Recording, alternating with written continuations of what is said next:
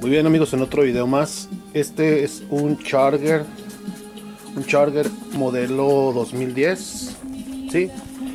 Uno de los carros más, pues yo puedo decir, más bonitos que ha hecho la Dodge, ¿sí? Es un carro motor 2.7 V6, ¿sí? Uno de los carros posiblemente de línea muy bonitos que ha hecho Dodge, ¿sí? Pero desgraciadamente también de los carros que traen el peor motor que se haya construido. Uno de los peores motores que se haya construido. Para mi opinión. Igual ustedes pueden tener la suya. Igual Dodge puede decir lo que él quiera. ¿verdad? Pero para mí es uno de los peores motores que ha construido Dodge. Y este es uno de los resultados, ¿verdad? Que apenas está parado este carro como de hace dos años o tres más o menos. Porque ha salido un problema tras otro le hemos arreglado todos los las bobinas le hemos arreglado todos los inyectores se los hemos cambiado también todos los inyectores. Le hemos cambiado eh, el termostato que se quebró le hemos cambiado el de aquí este ya es otro diferente le hemos cambiado la bomba el agua porque se le descompuso y casi lo sobrecalentaban. Entonces este carro la verdad ha sido un problema muy tremendo eh, estos motores y pues económicos de gasolina no son tantos, son, son económicos pero no son tanto para hacer V6. Pero bueno, aquí tenemos otro de los problemas que es de que a este carro le cambiaron el aceite. Entonces, bueno, al propietario se le ocurrió ponerle un Lucas. También yo recomendé Lucas en otra ocasión. Voy a decir solamente lo que dijo un compañero, un compañero mío dijo que a estos carros es preferentemente no echarle Lucas, porque Lucas hace muy viscoso el, aceite, ¿verdad? Y estos carros usan un 5W20. Entonces, este relativamente es muy delgado el aceite que usa y posiblemente los conductos del motor pues se tapen, se tapen. Entonces, como se tapan, eh, a veces no llega suficientemente aceite a la bomba o la bomba que está diseñada para este tipo de aceite eh, batalla para impulsarlo y nos puede presentar varios problemas, ¿verdad? Ok, bueno, vamos al grano. Ya les expliqué un poquito de lo que ha fallado este motor en menos de 10 años. Ya se le ha tenido casi prácticamente que cambiar todo, todas las partes este, que son posibles cambiar y ahora nos vamos a enfrentar a otra, ¿verdad? Les voy a explicar paso por paso, aunque ya, ya, ya tenemos la falla, les voy a explicar paso por paso qué, qué puede ser por lo que el testigo del aceite prende. Vamos para allá. ¿Ok? Ahora, introducimos este carro, este coche, este auto, como ustedes quieren llamarlo. Lo importante es que entendamos. Ahora, lo vamos a encender y al encenderlo, ustedes fijan, se apaga el testigo del aceite. Ahí lo tenemos apagado y ahí prendió. ¿Se fijaron? Y ahí sonó esa pequeña alarmita.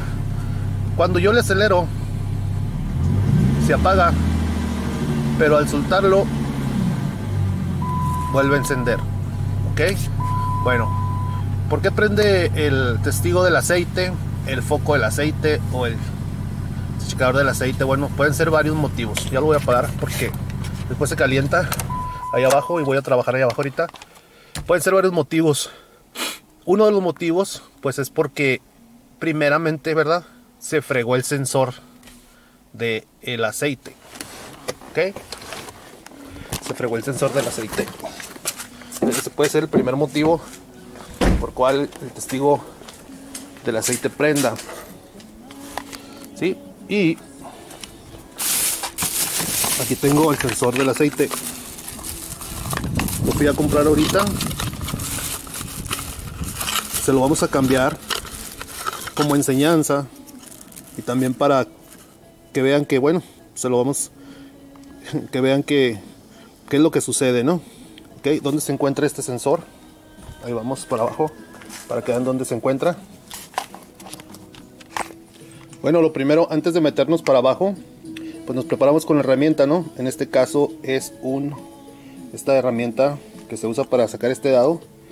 Así dice, no me lo crean a mí, pero dice 1, un 16 ¿sí? Un 1, un 16 Es la herramienta que se usa para meter o sacar este, ¿sí? Y luego yo aquí le puse una extensión porque es grande, entonces vamos a necesitar, bueno, un cople o un acople. Como ustedes les digan allá, vamos a entrar una matraca.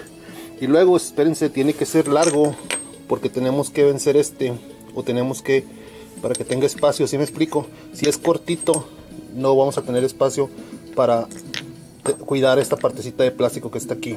Entonces acuérdense, uno, un 16 ¿ok? Ok, otra cosa. Antes de que lo pongan, yo les recomiendo que le pongan poquito de este. Sí, pero con mucho cuidado. Que no les vaya a caer aquí en el centro. Porque aquí es donde checa la presión del aceite. O sea, se lo ponen con mucho cuidado aquí en los lados. Este trae ya un poquito para que no se pegue. ¿Se fijan?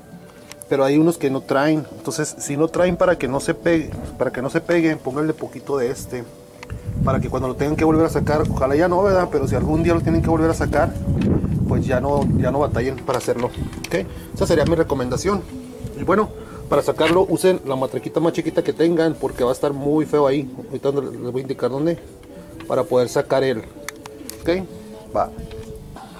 Ok otro consejo antes de meternos abajo.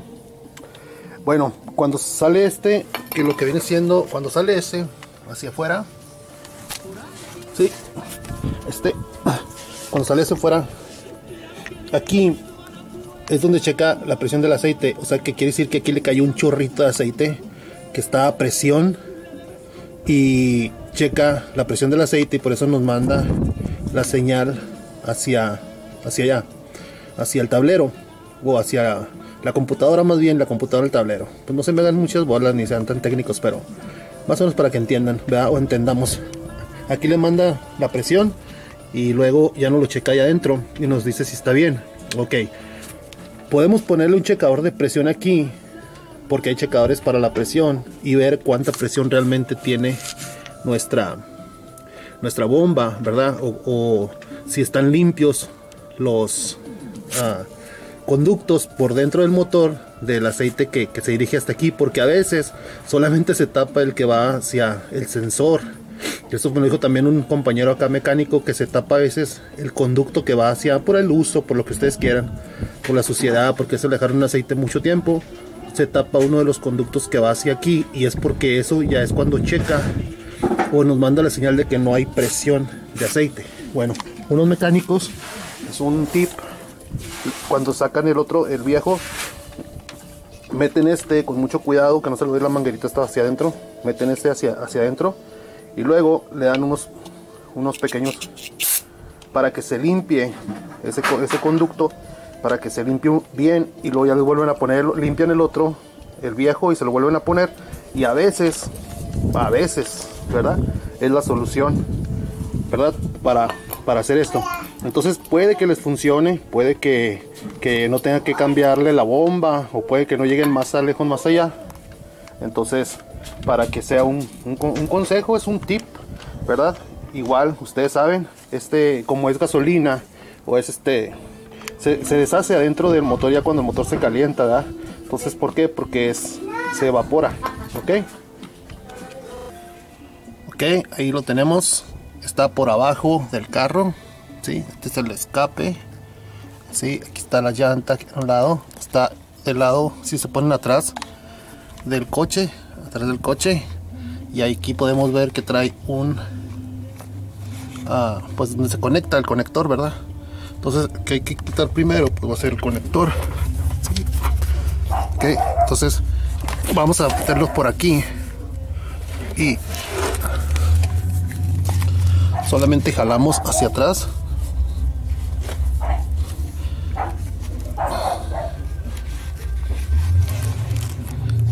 El mejor lugar para trabajar pues viene siendo por aquí. Sí, por este lado. Entonces voy a meter la mano pero a lo mejor les estorbo un poco en la grabación para poder sacar el conector. Trae un pequeño cejita rojo que hay que sacarlo roja hay que sacarla hacia afuera y luego la apachurramos aquí a ese y sale hacia afuera. Déjenme les explico cómo. Perdón. Ok esta cejita la tienen que jalar hacia afuera. Sí jalando hacia afuera ya le pueden apuchar aquí a este, o sea, presionar para que salga hacia afuera y luego ya tenemos libre allá adentro.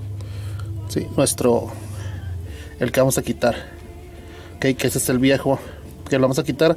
Vamos a meter el dado y como cualquier cosa, pues lo vamos a aflojar para sacarlo hacia afuera. Ok, acuérdense de la cejita roja, esa la tienen que puchar hacia afuera y luego ya presionar este hacia arriba, hacia presionarlo pues para que se levante un poquito y luego ya lo estiran para que salga nuestro conector. Ok, va.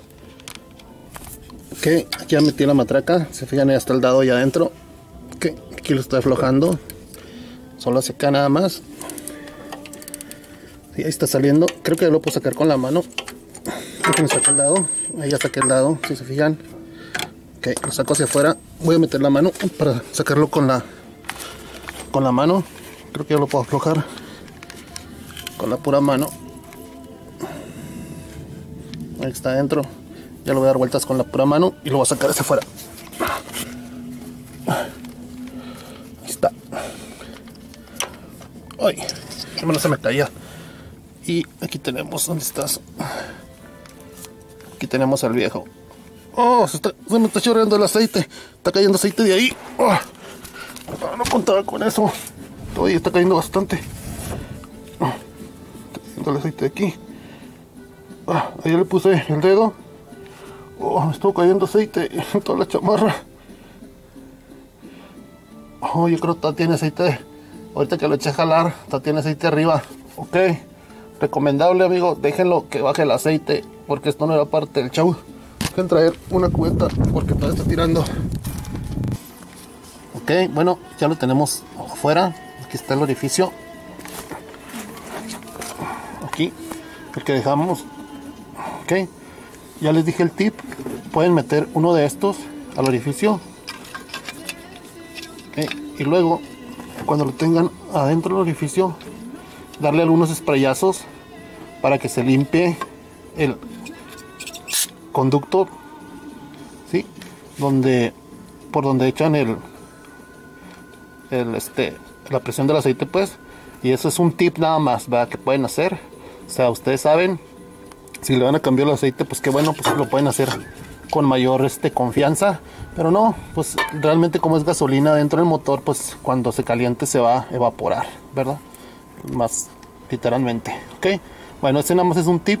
Ya sacamos, aquí está el viejito, ya lo sacamos.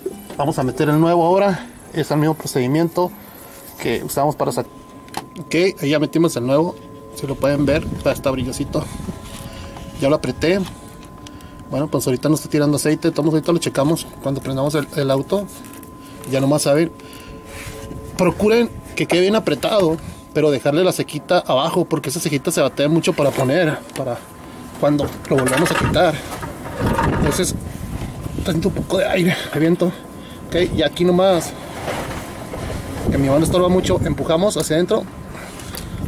Veamos que haga clic una vez que hizo clic, empujamos hacia adentro. Ya le cambiamos el... Ahora vamos a ver, pues qué sucede, ¿no? Le cambiamos el sensor de aceite. Vamos a ver qué pasa. El nuevo sensor. subimos. Vamos a ver si era el sensor del aceite.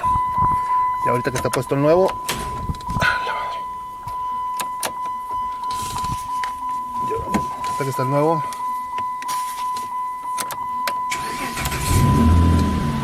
Aquí vemos que ya se apagó. Sensor del aceite. Vamos a ver si vuelve a prender.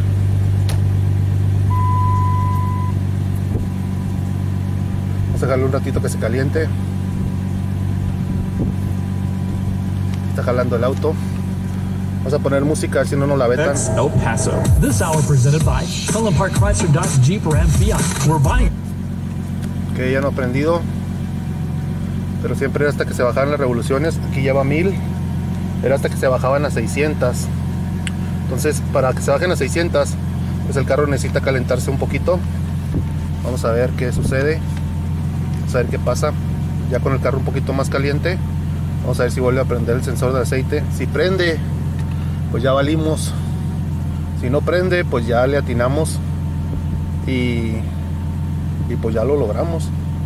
Ojalá pues pues es porque es mucho trabajo cambiarle la bomba ni se imaginan.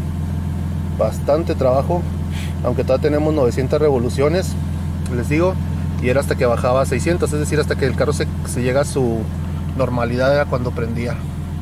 Ojalá que ya no prenda. Ahí, ahí si ven está subiendo la aguja está calentando el carro. Sí, y aquí está bajando poco a poquito las revoluciones. Tenemos mil revoluciones.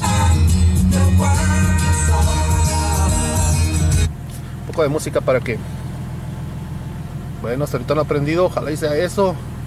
Ojalá ojalá crucen los dedos ahí en sus casas para que sea eso. Y ahorita les enseñamos cómo cambiar el aceite.